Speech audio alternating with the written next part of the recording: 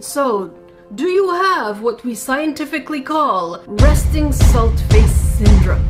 Well, we have the merch for you. this design is probably one of my favorites, including the Holy Carp one, called This Is My Happy Face. Everything from the little markings on the body that look like salt shakers, and even the top part that looks like a salt shaker lid, not to mention the derpy frown, it makes it just right for those of you who keep getting told, why don't you smile? And then you could just point at your shirt and be like, this design comes in hoodies, different colors, t-shirts, also beautiful array of colors, tank tops, mugs, and yes, stickers for those of you who want to put them on your laptop. I'll leave a link for them in the description box below, so if you're interested, get your This Is My Happy Face design. It is so salty that even Salty Crafter approves. Cause when you're a grain, you come in like a hurricane.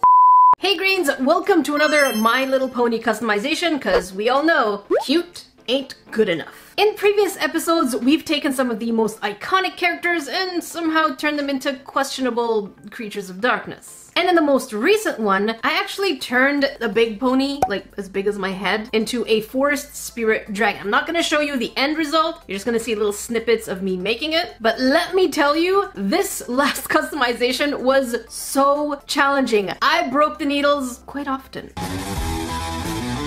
So I'm hoping today I will not have the same issue. I'll probably have different issues though. That's okay. As long as we don't repeat the same mistakes, it means we are learning.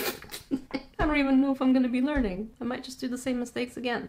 That's my life now. And so today I come to you with a new set of customizable ponies. These are the most requested in the past few videos. The first one we have is Fluttershy. She was highly requested as the next customization and I do understand she's adorable, but of course we know, again, what did I say at the beginning? So I'm really excited to do a really cool custom. Next we have Cheerilee, which I know is like a sub character, but one of the things that annoys me the most about this specific toy is that the body, an entire print on it. It's how and why is there a body? I don't get it. I don't understand. It's not even that cute. No, I don't like it.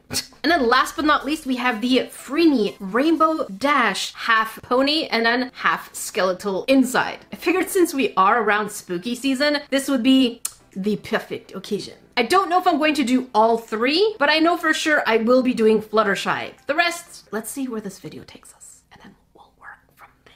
I don't like to commit. I want to see where we go and take it from there. By the way, for those of you new to this channel, don't forget to subscribe, otherwise I really stock up on really sharp pointy things. I can wave them at you. So make sure you click on all notifications while you're there. With that said, time to see what we get inside.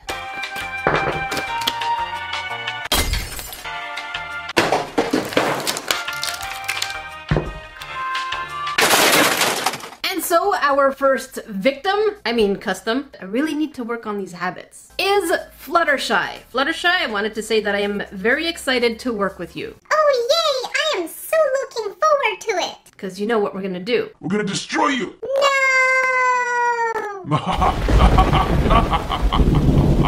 And so as you can see, this design of Fluttershy has one leg stretched out. I have ideas for this one, more specifically because on Instagram, I asked you Grains to give me theme ideas, and you Grains delivered. Holy moly, horrid, carp. English? Cooperate, please, I'm trying to talk. The amount of awesome suggestions that you had just really inspired me. So if you're not following me on Instagram or on TikTok or on Twitter, make sure that you do. It is at NerdECrafter for both of these and Salty Crafter for TikTok. If you have future suggestions for future custom ponies, let me know in the comment section below. I love your theme choices. So if you have a specific pony in mind, let me know which pony and what theme. However, for Fluttershy, this one here, comment by Erosion, says poisonous creatures. And I immediately got super inspired because of that stretched out leg, and you'll see why in not too long. When we think about poisonous creatures, immediately the first thing that comes to my mind are snakes. However, there are so many animals that have poison. There's even a poisonous bird called the pitohui. I think I'm calling, I think I'm saying it right. I've only read it in the book, but it is a poisonous bird. There are different kinds of frogs that are venomous, toads, jellyfish. Are they?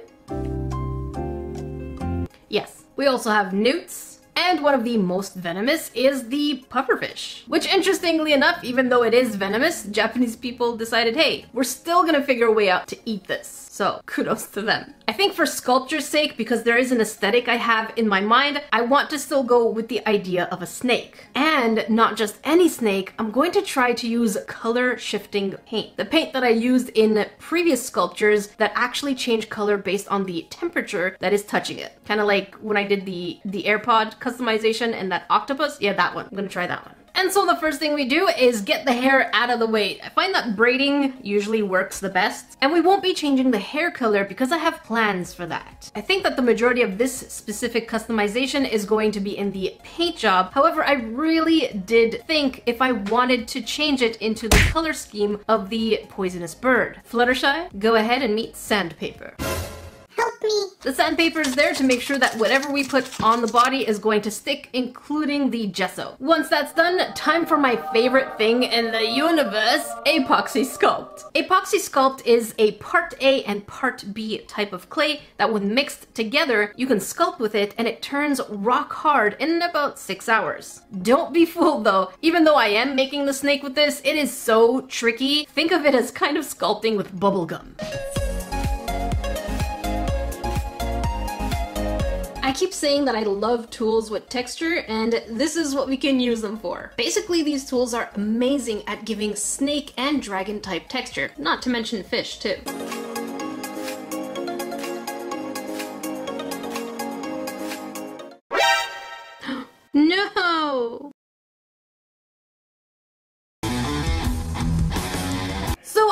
When it comes to crafting, you will definitely encounter some challenges is what I like to call them. They're not mistakes, challenges. But this is not going to be a difficult fix. I went ahead and just remade it. Since it's a snake, it really doesn't take too long. Although technically I could have just smushed the pieces together. I think the remake looks pretty good. And of course I added some spikes to the sides of her head because I was thinking of a viper. Although I know they have just like this really cool one, I decided to go for many. Now that the piece is all put together, what we have to do is pray to the drying gods. Right, Burb? Uh-huh. For those of you who don't know, this is Burb. Last name, well, first name Angel, last name Burb. Why you gotta smack me? I said I know I messed up on your name. But that's no reason to smack Uh-huh, me. I am innocent in all of this. Okay? That's rude. Oh! So let's put our hands together and pray to the drying gods. Dear drying gods of Evermore, please protect my piece from cracks, droopiness, and fallen limbs. And also, Stop breaking my stuff! the next day. here we are the next day. If my hair is messy and my shirt has more cat fur, don't judge me. How can I not hug Ramses, the most adorable, sweet kitty cat in the universe? I love him. He is my life. Look at him. So floofy, so chunky, so sweet. But so far, it seems like the drying gods have not betrayed us. My biggest fear is moving the aluminum foil over here so that the snake doesn't stick to it or that there's no crack. Let's try. I'm gonna be very gentle. Oh, oh, I didn't need to be gentle at all. Huh. We good. The epoxy clay is definitely firm on here. I don't want to press too hard because I know my luck, even though technically epoxy clay is pretty firm. So this is me trying to break this piece and it is not having it. So we should be okay. I just don't want to test myself because sometimes I be strong. And so my favorite time of any sculpture, well, actually the whole process is, but it is time for airbrush.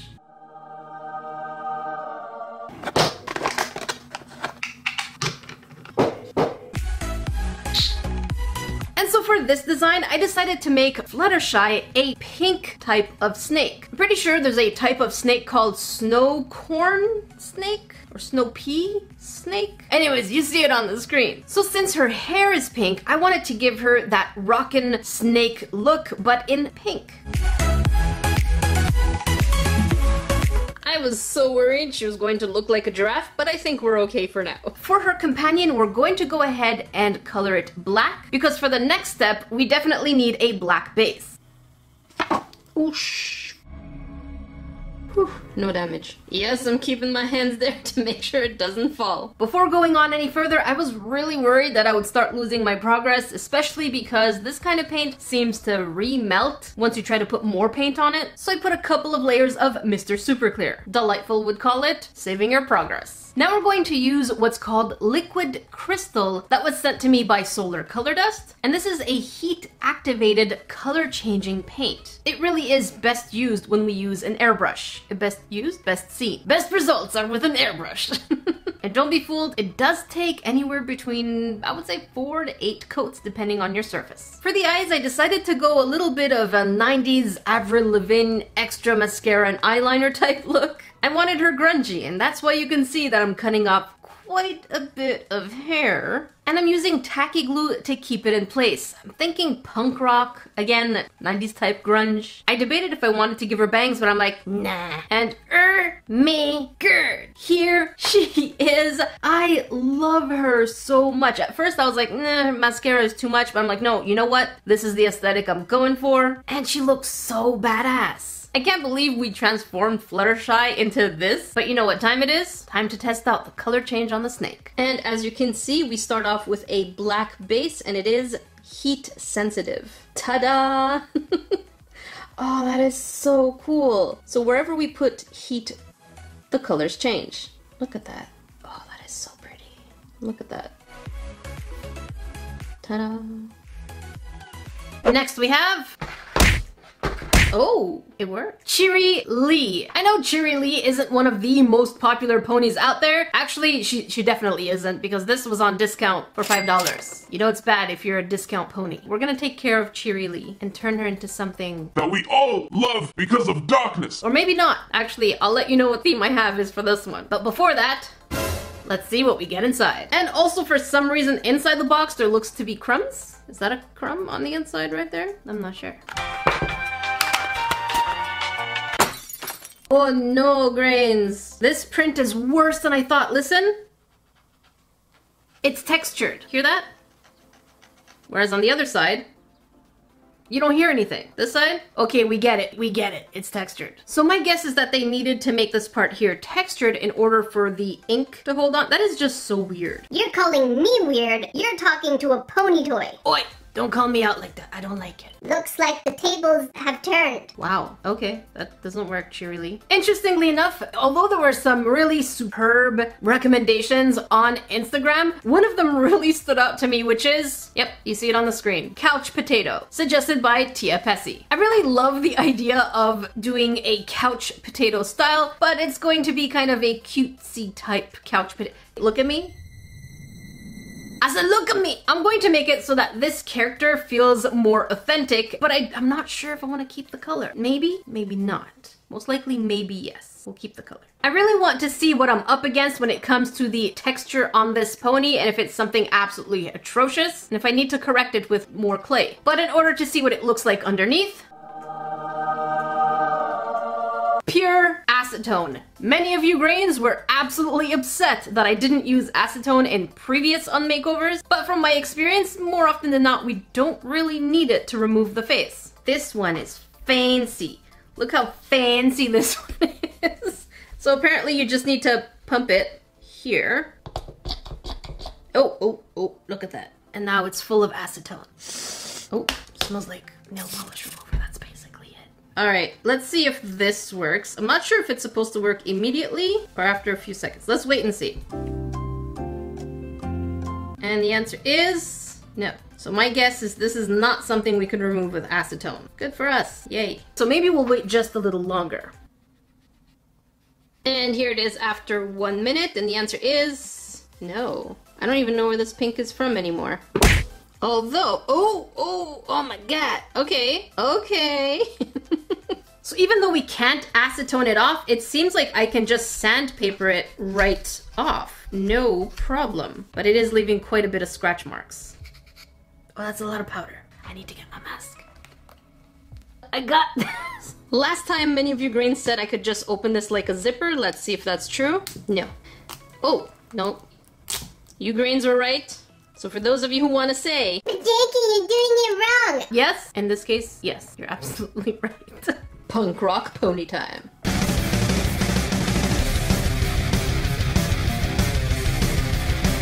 So even though technically I could continue sanding it and removing the rest of the print, I figured it's really not that necessary. At least not for what I want to do, especially since it is pretty flat. So for this design, I'm taking my Apoxie Sculpt again, because you know, we can't really bake a pony. not not in this way. Like don't grains. What i meant is not that not not in the dark way. Don't go into the dark side. Some places are okay to be in the dark side but we're not baking no ponies. As you can see in order to get my pieces as flat as possible i am using my pasta machine because that's my favorite thing ever. So I decided that for this couch potato pony, we're going to give her an oversized t-shirt and pajama pants. I debated if I wanted to make the t-shirt a v-neck or just rounded, and it seemed like rounded probably was the better idea. And then for the pants, I figured they would be also pajama pants, but the only thing that's going to flare out would be the bottom, so we definitely don't need to change too much as though it's her own body. So they're gonna be kind of like tights. In all honesty, one of my favorite outfits really are pajama pants and an oversized t-shirt. I feel like especially nowadays, I am almost living in them, I would say 99, 99% of the time.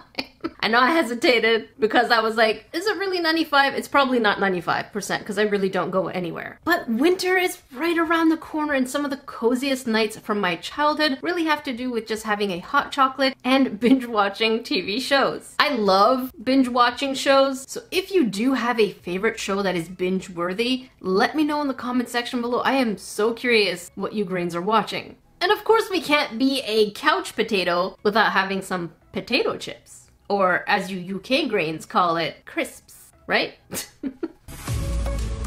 Here she is so far. Now we have to wait before um, before we paint. So you know what that means? Put your hands together and pray to the drying gods.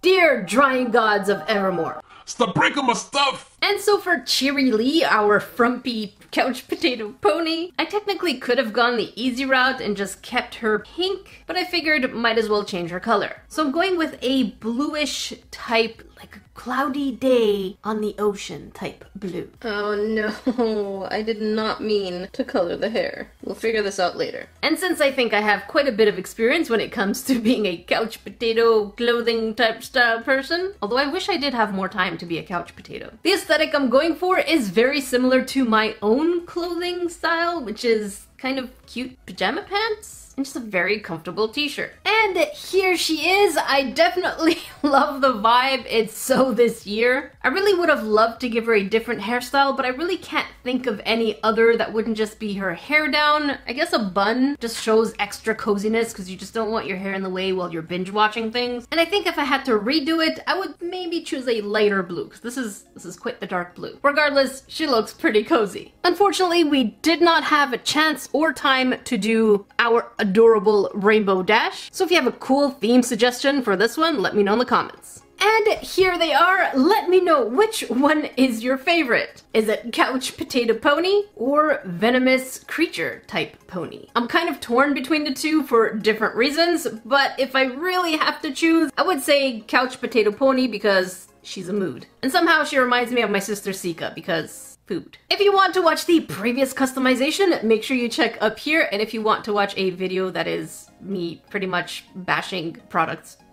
make sure you check down here. Until then, I will see you grains in the next video.